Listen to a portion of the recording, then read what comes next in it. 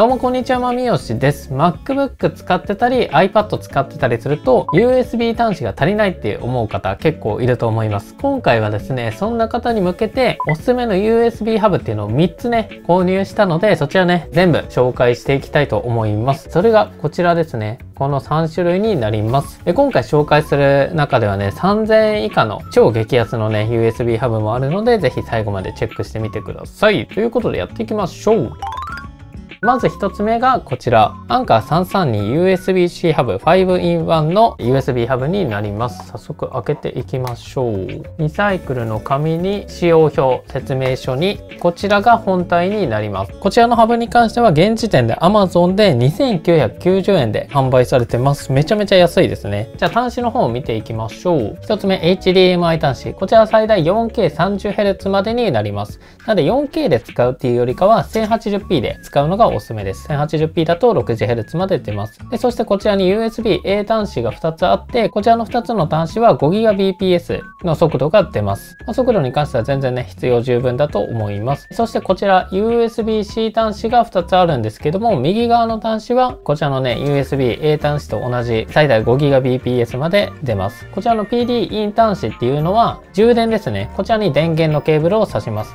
そうすることによってこのハブを MacBook とか iPad に挿すことによって充電もできるし USB 端子が3つ使えるし HDMI 端子も使えるといった感じでねかなり安くて高機能な USB ハブになってます、まあ、とりあえず何買っていいかわからないっていう方はこちらのねアンカー332 USB-C ハブ 5in1 こちらもね買っておくのがおすすめかと思います。価格も3000円なのでねかなり激安な商品になってます。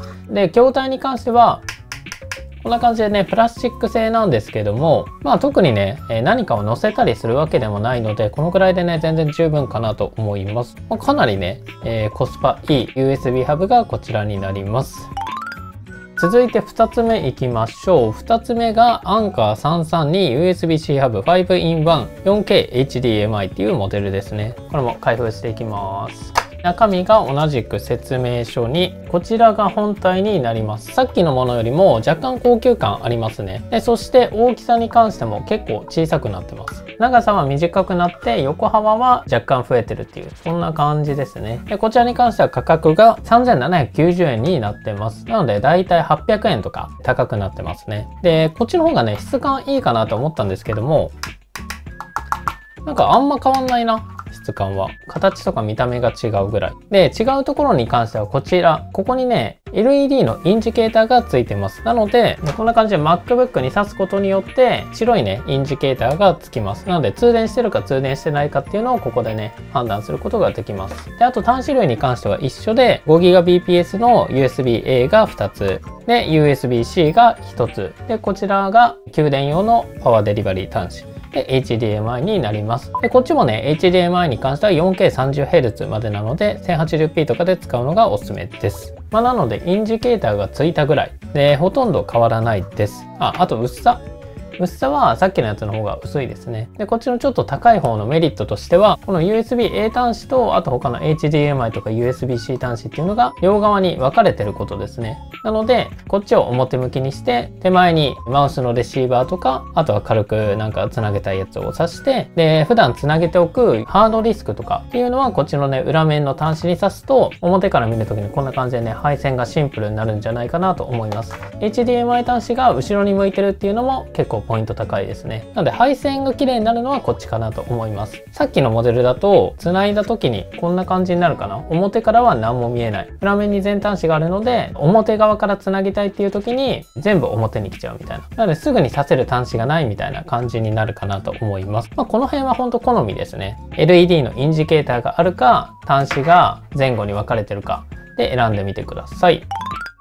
続いて3つ目がこちら、アンカー552 USB-C ハブ 9in1 4K HDMI になります。こちらに関しては価格が6000円ということで、まあ、結構ね、高くなってます。中身が同じく使用表に、こちらがハブ本体になります。ハブの本体はこんな感じ。2個目に紹介したやつと、まあ、大体同じ形になってますね。手前の LED のインジケーターがあるとか、あと形に関しても大体一緒になってます。で、こちらのハブに関しても端子説明していきます。まず手前に USB-A 端子が2つ。こちらの端子に関しては USB2.0 になってるので、まあ、通信をするっていうよりかはマウスのレシーバーとか、あと有線キーボードをつなげるとか、そういったね、使用用途に向いてる端子になってます。でそして 5GBps の USB-C 端子。